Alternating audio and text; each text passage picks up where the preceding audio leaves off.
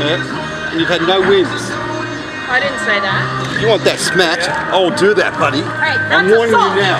Cameras! Taking pictures.